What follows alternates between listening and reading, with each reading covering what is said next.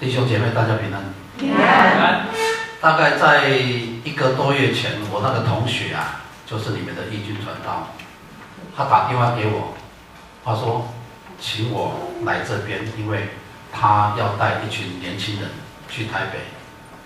我听到的时候，我忽然间想说，哎，我这个传道，他怎么忽然间想到我？因为到时候我问他，他说。你常常喜欢说传福音，传福音，啊，但是你都一直还没有跟我说传福音首要的条件是什么？我说好啊，那我就来吧。哦，所以当我答应他的时候，他就很高兴跟我说啊，赶快赶快来跟我说，因为我们永福教会是一间非非常非常喜欢宣教的教会。他说要我来这边与大家分享，我就真的很高兴。但是当今天早上我忽然间拿到周报的时候，哎，我我真的茫茫然了，因为我记得我们的华语堂是十点，然后我看到周报上面写十点半，我想说啊，到糟糕了，对啊，是上个礼拜，我看上个礼拜周报说啊，糟糕了，到底是几点？到底是几点？然后我忽然间想说，哎。宣教好像就是这样子，有时候我就在那边茫茫然想说，我到底要等到几点才要去宣教？到底等到什么时候再宣教？是不是要一个共同目标？就像我们在二月二十二号开始，我们华礼堂几点开始？九点半。哎，不要和我今天早上一样，在那边茫茫然，啊，到底几点？到了几点？二月二十二号，下下礼拜九点半开始。最近我在网络上看到一句话，他是这么说的，就是说，在祷告以前，如果没有自己先悔改，就像没有先洗手就吃饭一样。这句话真的值得我们来思考。成为一个带领人来认识上帝的人，在他自己本身成为门徒要服侍之前。是不是有先将自己有一种服侍的热情，真正的对内心先来改变自己，然后再来带领人信主？或许有许多人非常热情，在要带领人来信主的这件事上，不过自己却没有信心，不敢开口讲，不敢用行动来表示，要邀请人来教会，要来认识上帝。其实服侍的热情，严格说来不是很困难的一件事情。困难的就是要怎么表达出来，这个才是一门功夫啊！而且这个功夫就必须在于我们自己是不是有先受到装备，哦，愿意先改变自己，这就这个其实这个就是一种服侍热情的一个基本的条件，因为大家都知道什么样子的将军就带出什么样子的兵，也就是说什么样的信仰价值会让我们。带出来的那些人有什么样的信仰价值？这非常重要。就像是师傅，一个师傅在带徒弟一样，自己如果没有很好的功夫，怎样会有很好的技术要来传承给别人呢？有一位学者说过，或许大家听过一句话，就是说，钱如果离开的人，就像废纸一样；但是如果人离开了上帝，就像是说白白在人世间走了一趟，这是一个学者说的。其实这些都是在表达，这是一种关系上的一个重要性，也可以说是一个服侍者的一个责任。他他的责任就是要建立人和关系之间，哎，人和上帝之间的一种亲密的关系。但是服侍者所要付出的心智就变成要非常非常的坚定。啊，保罗就是一个服侍者。首先，我们从第九章第一节到第三节的背景中，我们来了解一个非常实际的状况。保罗其实是非常坚持要来责备外邦人对犹太人和犹太基督徒所显现出来那种骄傲的态度，而且强烈的表示要使得犹太基督徒相信保罗他所传的福音的真实性。我们来看更广的一个范围，就是说在罗马书第九章到第十一章。所记载的里面的意思，里面有一个非常实际的内容，就是保罗要团结在纷争中的罗马基督徒来支持他，针对福音以及福音对犹太人还有外邦人中间的一些很微妙的一些关系。我们先低头来祷告，呼召我们来跟随真理的主上帝，你是信实的神，你在创世之前就已经命定，使我们成为你完全的仆人，并且拣选我们来成为你所疼爱的儿女，又是呼召我们来成为你忠心的使者，使我们不管在什么地方，都是为着你的救恩来传扬主你荣耀的信息。愿荣耀、尊贵以及权柄都归于你。在此，我们众弟兄姐妹诚心祈求你的圣灵与我们同在，使我们在今天的聚会当中完全有你的旨意与我们同在。感恩祈求，奉靠主耶稣基督的名。在我们在进入今天的经文之前，我们先来看一处的经文，它是记载在我刚才说说的罗马书。第九章第一节到第三节，这个是一个保罗，他非常非常在他的宣教里面非常重要的一个境界。其中，保罗一直要解决一个问题，就是说犹太人不想真正的接受福音。第一节到第三节，啊，这个就是会延续到第四节到第五节，主就会让人家怀疑到上帝赐福给犹太人的权利，以及上帝所应允。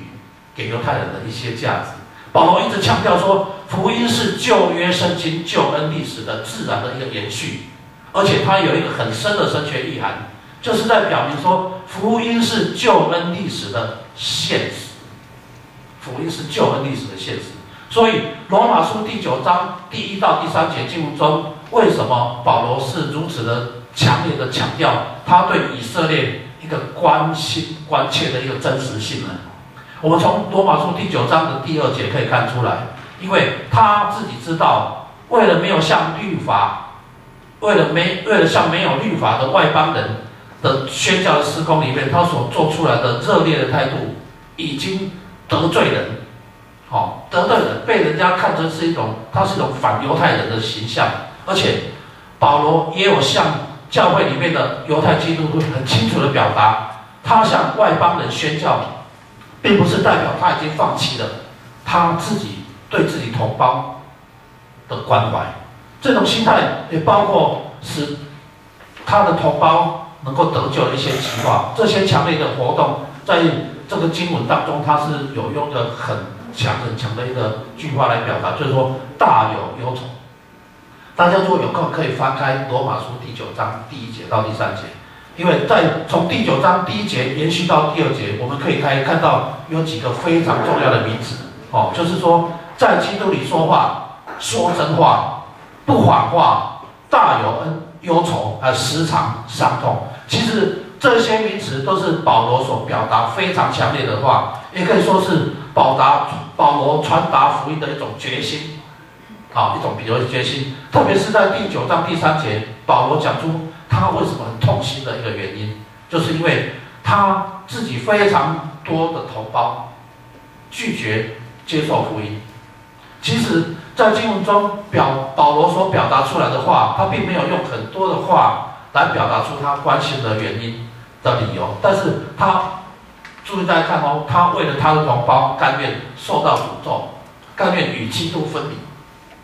在此，我们看到说受诅咒。这是其实，在原文里面，它是一句希腊文的翻译，哦，也有人将这句话的意思放在教会里面，哦的英文来表示，就是说像开除教会籍，哦，也就是像我比较清楚、比较了解的，就是开除会籍一样，哦，保罗也有也有用骨肉之亲来指他自己的同胞，是要表示保罗继续是认同他们的，哦，在忠实在他们，而且。仍然关心着他的同胞，就像我们所知道，保罗是外邦人的使者，不过仍然是自己知道他自己始终从头到尾还是一个犹太人。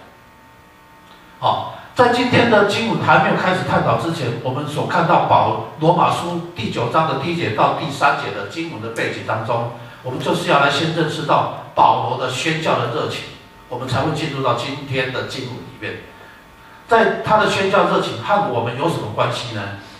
也就是说，我们先去探讨说，保罗他有什么服侍的态度呢？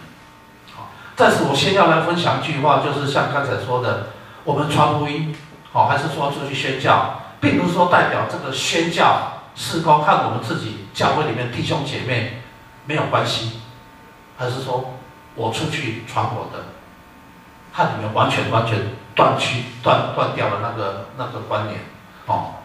呃，而且也甚至不是说出去宣教，哦，就已经不再是在关心教会里面所有的事情。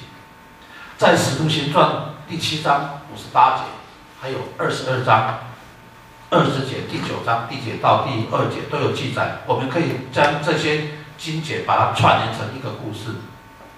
保罗为了维护犹太宗教还有律法，他很热情参加控告史蒂凡这件事情，虽然。保罗他没有亲自拿石头丢死史蒂芬，但是他是在旁边，他非常快乐，他甚至替破坏史蒂芬的那一些人看守着他们的，而且保罗他有申请很多逮捕令，捉了所有信耶稣的人，将他们都绑起来，带回去耶路撒冷。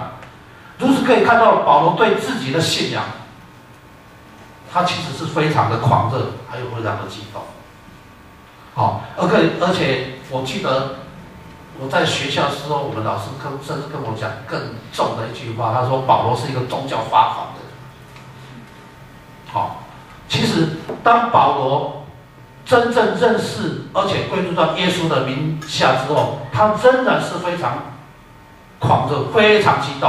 我们从保罗前往大马士革的路上的这个事情来看。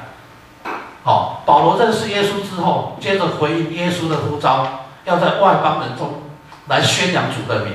保罗那个时候他就立刻马上在大马士革每一个会堂不顾性命的在传福音，甚至当犹太人要陷害他的时候，他逃他逃走去耶路撒冷，他同样不顾自己的性命在见见证耶稣基督的名。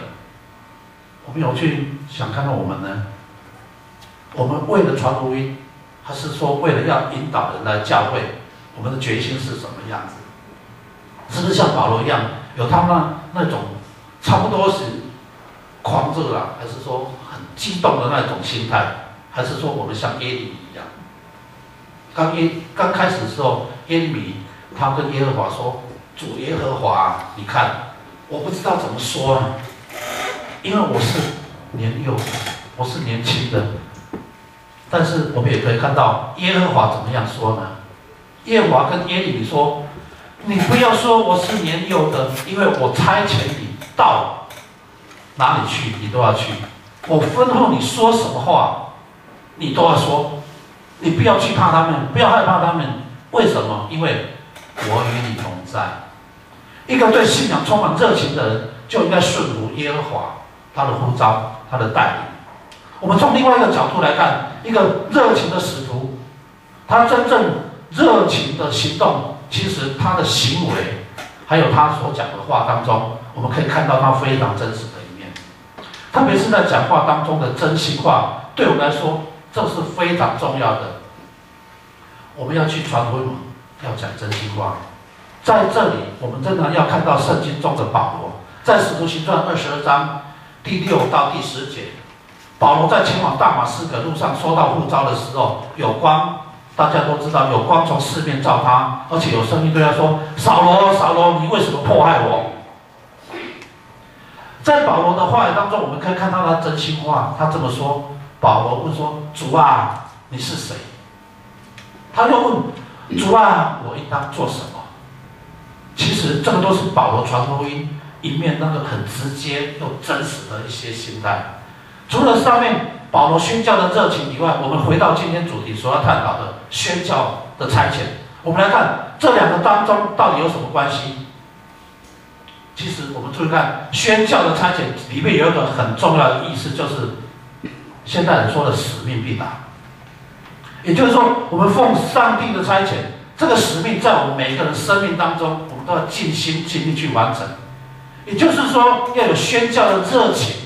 再加上受到差遣，就如同保罗先生一样，对信仰的坚持，对他自己宗教的追求那种信仰的坚持，这种信念甚至达到一种发狂狂热的心态，这样子的，我们对于我们宣教是很有帮助的。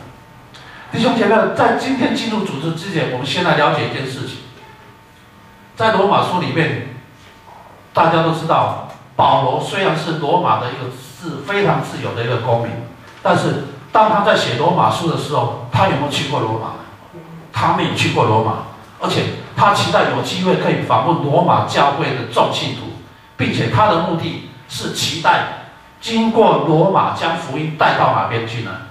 西班牙，对不对？这个很基本的，在罗马书里面大家都必须知道的。这条路线是当时地中海世界的人们所知道的一个地级，他们只知道的路线，他们认为说，哎，整个地级就是这样子的一条路线。这个也就是罗马哎，保罗期盼将福音骗传到地级的一个意思的一个意思在那边。保罗更在信信那个罗马书的里面介绍自己，也论述自己的信仰，因为保罗盼望罗马信徒可以因此来更加的认识他。也就是说，借由罗马书书信的叙述来替代他自己亲自向罗马信徒。表述自己，而且用来预备使罗马教会成为一个宣教的中心，却因此，他这个论述大家都也或许有人知道，他变成一个我们教会常常说的一个福音的大宪章。好，相我相信，如果有在研究罗马书的都会知道，罗马书我们会称它一个福音的大宪章。在整个罗马书里面，一共有十六章。除了第十六章是个人保罗个人的启恩以外，保罗在罗马书的前半段，就是第一章到第八章，他是在讲因信称义；而后半段十二章到十五章是在讲基督徒的生活，其中有一个中间段落就是第九章到十一章，这是在说罗马选民他得救的一个奥秘。我们今天的经节就是在这一段第九章到十一章，在论到。福音与得救的门路时候，罗保罗摒弃很杂的律法的要求，他提出得救是恩典，门路非常简单，门路非常简单，就是说，你若口里认耶稣为主，心里信神叫他从死里复活，就必得救。因为只要心里相信就可以称义，口里承认就可以得救。这个福音真理，无论是对犹太选民。或是外邦人都是实用的。保罗甚至引用上上帝的启示先，上帝启示先知约尔他的信息说：“凡求告主名的，就必得救。”好，今天的经经节里面这一段，它是引用在在那个约尔约尔约尔书的信息里面的一句话。好，接下来让我们来思考一个问题：那那么究竟宣教是不是有所谓的次序，还是说？顺序呢？好，传基督的真理，领人信主得救，虽然是一件其实说来不是很困难的事情。哦，就像我们刚才说，你要有那个热情。哦，但是保罗却提出了一个不太简单的福音宣讲的一个程序的一个逻辑。哦，保罗提出的逻辑就是说，啊，没有信道，怎么能求告呢？没有听到，怎么能信道呢？没有传传道，怎么能听到呢？没有奉差遣，怎么能传道呢？他有一个逻辑在这里面，啊，可以可见到保罗他的逻辑，他是说信道是从听到来的，听道是从传道来的，和传道是从奉差遣来的。虽然圣经上记载说报福音传喜信的人，他们的脚中何等佳美。但是如果没有奉差遣，就不会有佳美的脚中。这个奉差遣很重要，因此奉差遣才是宣教的一个关键。宣教是差遣不不停息、不不停下来的一个过程。差遣者差派受差者，受差者领受的使命到受差的地方，对差遣者所关注的人群宣告差遣者的。旨意，这个就是宣教。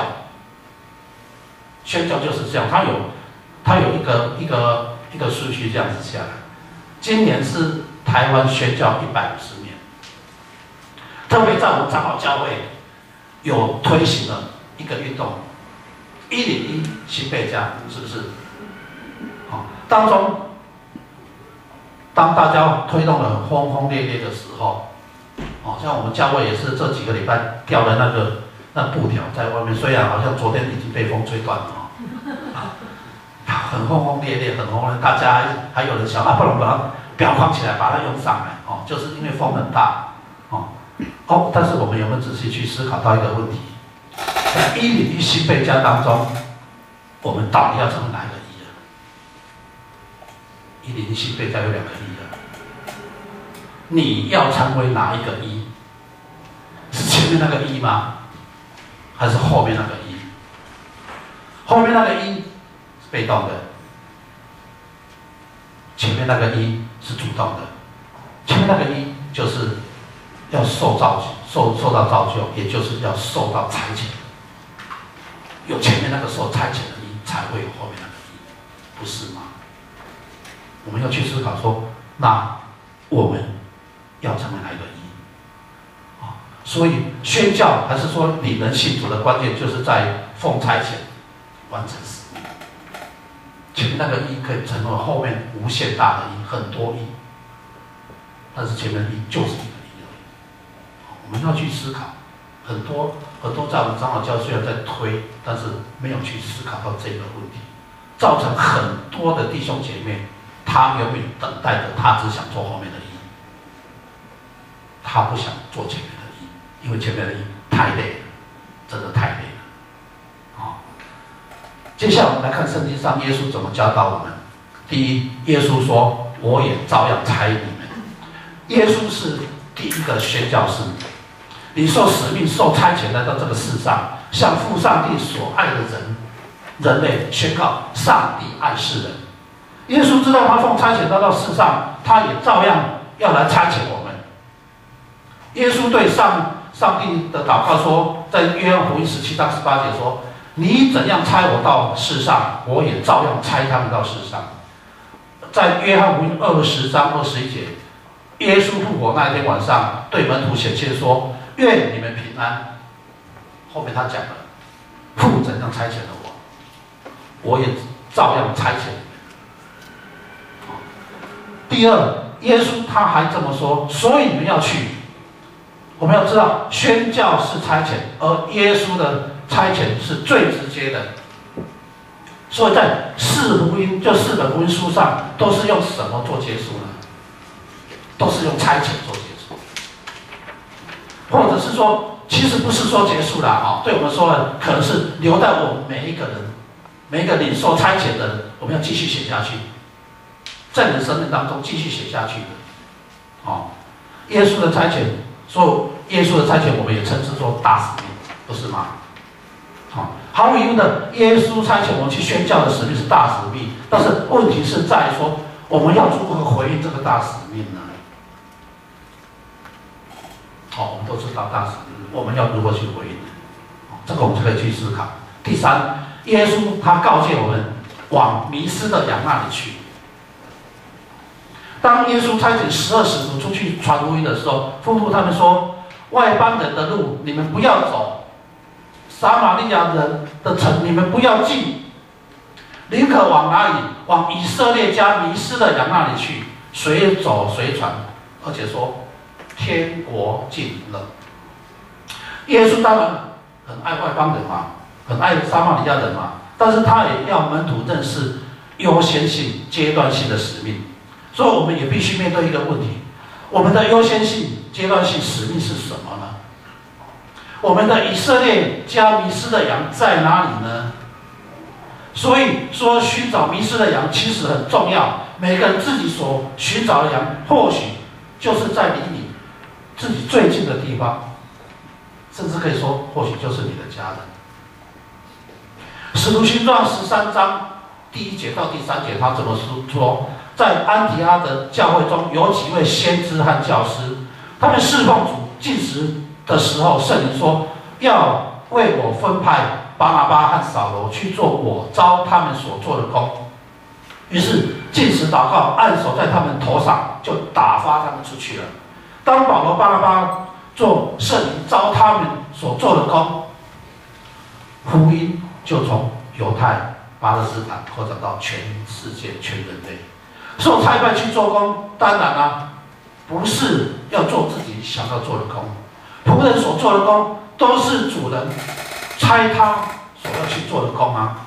保罗归主之前，虽然也是到处在捉这些门徒，但是当他在前往大马士革的路上遇到所破坏的耶稣时，我们刚才说过，他问了一句话说：“主啊，你是谁？”接下来他又说：“主啊，我应当做什么？”这个就是每个受差遣、受差派的人都需要问的问题：“主啊，我当做什么？”所以。保罗他一生当中，他只做耶稣要他做的工作。我们是否也愿意去接受差派去做工呢？而且只做主主召我们要做的工，不是做了我们自己想做的工。好，最后耶稣也曾经说过：你们要对万民做见证，宣宣教和耶稣再来，还有世界的末日，这个都是有很密切的关系，大家都知道，而且。关于那个日子，那个日子，这这三字，那个日子，耶稣说，只是末期还没有到，这些都是灾难的起头。这天国的福音要遍传天下，对万民做见证，然后末期才会来到。所以很多灾难一直出来，一直出来，一直出来。当我在讲这讲现在在讲这个的时候，我忽然间会有点起鸡皮疙瘩，因为我讲到末日的时候，我突然听到旁边的声音。风一直吹，呜呜呜呜呜，一直吹过来，啊，可见到耶稣再来最后的征兆就是福音要传遍天下，对万民做见证。虽然我们巴不得耶稣快来啊，但是我们愿意常常像使徒约翰一样祷告说：“主耶稣啊，我愿意你来。”但是我们要知道主的心，啊，在提摩太前书第二章第四节有写说他。愿意万人得救，明白真道。耶稣还没来，他不是耽搁，他是一个宽容，因为他不愿意有一个沉沦，愿意人人都悔改。因此，我们就是要奉差遣，要对外面做见证，要出去宣教，要领人来信主。所以说，宣教的第一步，我们也可以说从耶路撒冷做起，不是吗？啊，虽然。宣教是是要从差遣要到普天下去向万民传福音，但是宣教也要从以色列迷失的家开始，要从耶路撒冷、犹太全地和撒玛利亚直到地极。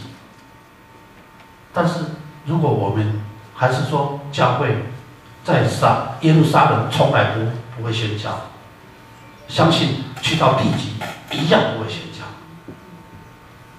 啊，所以说我们就是从耶路撒冷开始吧。